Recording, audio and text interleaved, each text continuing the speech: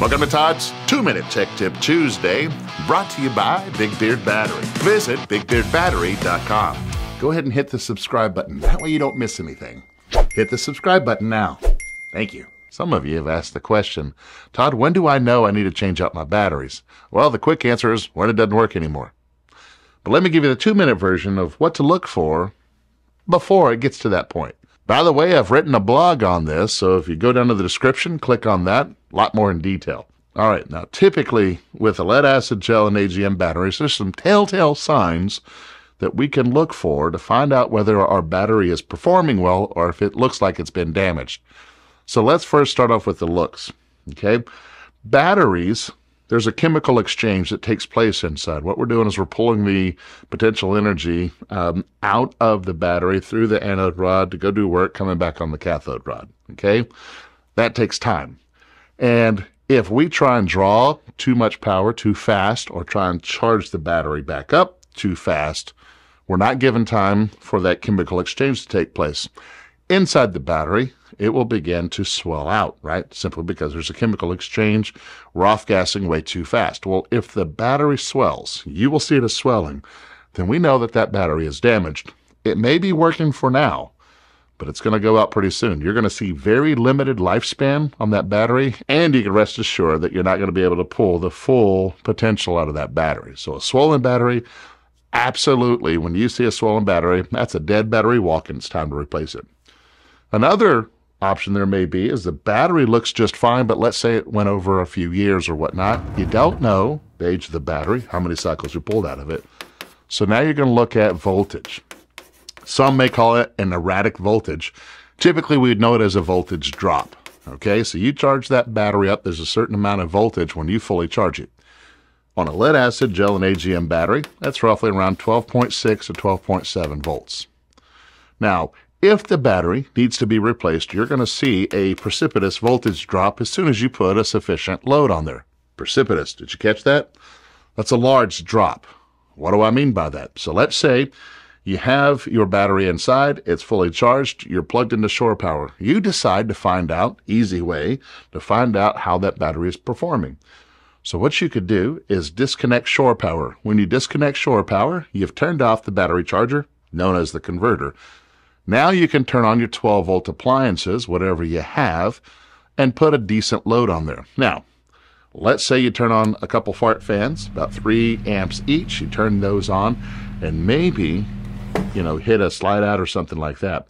If the voltage drops precipitously, right? 12.7, bam, 11 something. Okay.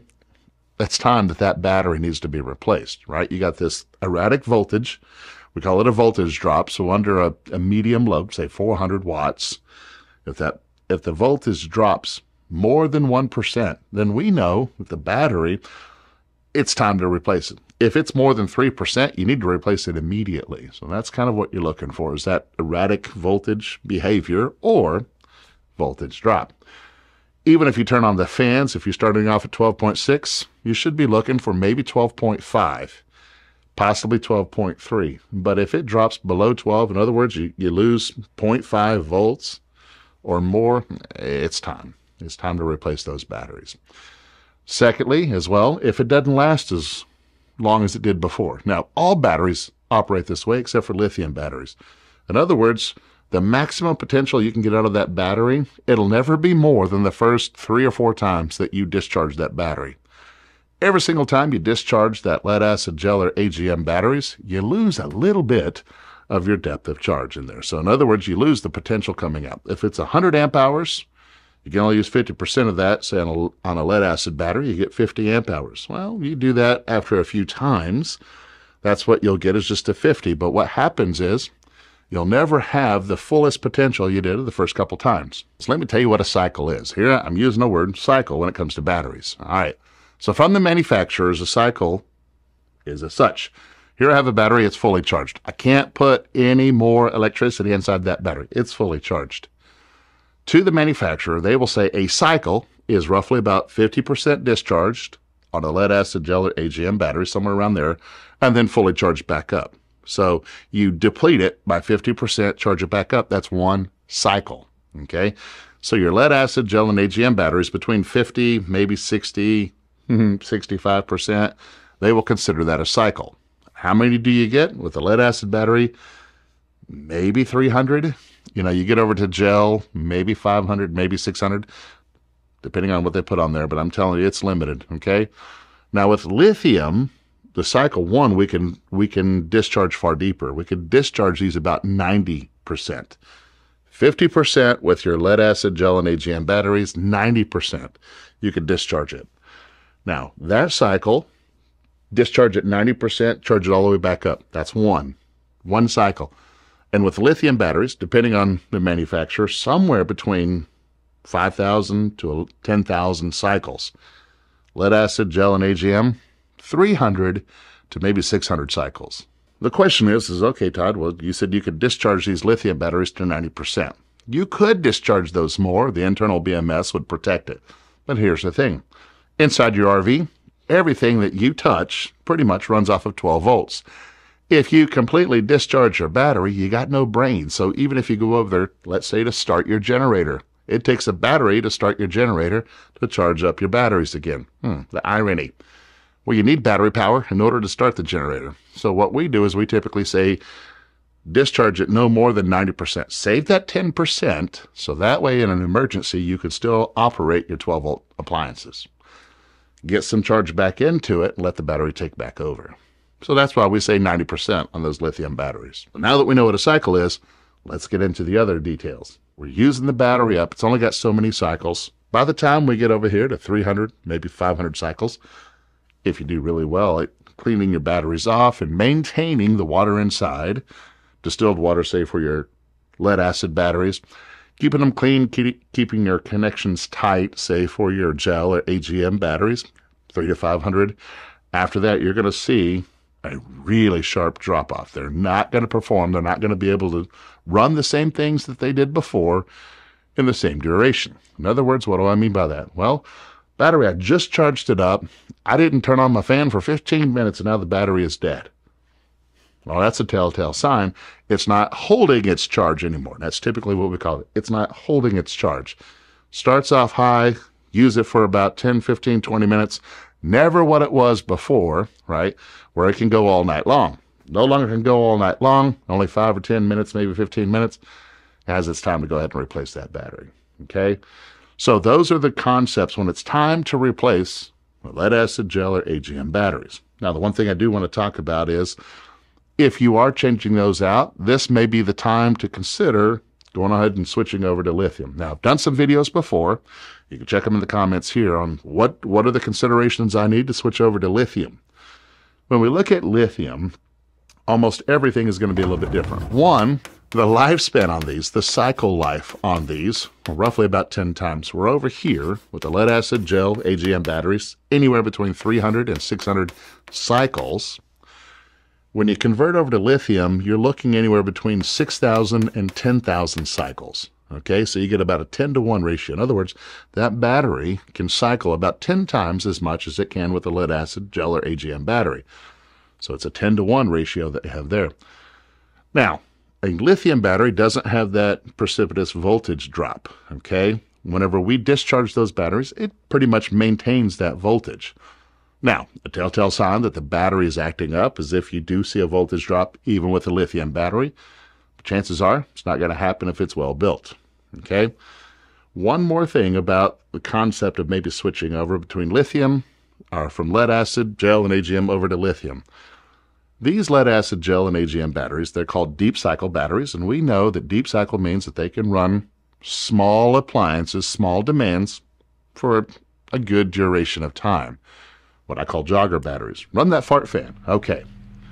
Lithium, if you wanted to run the air conditioner with a proper inverter, I'm going to make that battery sprint. In other words, I'm going to pull far more power out of it far quicker than I could with the lead acid gel or AGM batteries.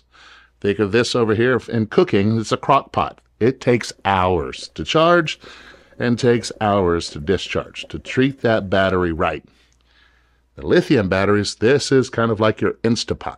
Okay, it can do the same thing in far shorter amount of time. What does that mean? That means I can draw more power quicker uh, to run larger appliances with the proper equipment, say an inverter. I can run that a heck of a lot faster. It's built that way. Okay? If I try and pull more power out of the uh, lithium, I'm sorry, lead acid gel AGM batteries, there's an effect. It can't run that far. It can't do that. So we call it the Peukert effect. Okay. And what that means is your depth of charge, your depth of discharge drops precipitously, or the total amount of power that you can pull out of that battery, if you're trying to draw it out fast, drops. What do I mean? Well, if you have a 100 amp hour battery and you're trying to draw a lot of that at once, when you draw a lot of that at once, you're not going to have 100 amp hours worth of usage. Inside, there's some resistance that takes place. We call it internal resistance. And it takes more power to get past that resistance. So a lot of that battery potential power gets used up in the battery just to try and push out the amperage that you're looking for in order to run the large appliances. The way to fix that is to go with a lithium battery, has far less internal resistance inside, and allows for a quicker charge and a quicker discharge. Lastly, when you are deciding to look at, you know, maybe switching over to lithium, I'll tell you one of the biggest factors to look for is what we call active balancing. Now, a lithium battery, I want you to think inside I've got four battery cells inside a lithium 12 volt battery. And those cells can get out of balance. One thing of note is as we're finding out, when we deep discharge these things over and over and over, those cells can get out of balance. In most providers, they'll put in a BMS that has what we call passive balancing. That means whenever the battery is uh, fully charged, there's a small amount of voltage that will pass back and forth to charge those up. Well, that means to you is, is that you can't use your batteries if you want to keep those balanced. You can't use them day in and day out. That's more for the individual that's going to be once every couple months, they may go off grid and use their batteries if you want to keep those balanced active balancing is for the RVer who you don't know when you're going to use that battery, so you want to make sure it's balanced all the time. Active balancing allows the balancing to take place even during the charge. Okay, even during the charge and the discharge, they're just always balancing, right? So, in your consideration, when you're looking at lithium batteries, you want to have a battery provider, kind of like Big Beard batteries, that gives you both active and passive balancing. So that way it doesn't matter what you do as an RVer. You want to use your batteries, boom, they can take care of it. If you want to let it sit for a couple months or whatnot, be plugged into shore power, not a problem. They stay balanced. When you put in an active balance, such as what we do with the Big Beard batteries, they're going to last longer and you get a deeper discharge. So there's your tech tip. A pizza pie. You know what nobody ever talks about? When should you? What buttons you hitting? By the way, hey, and you can um, rest.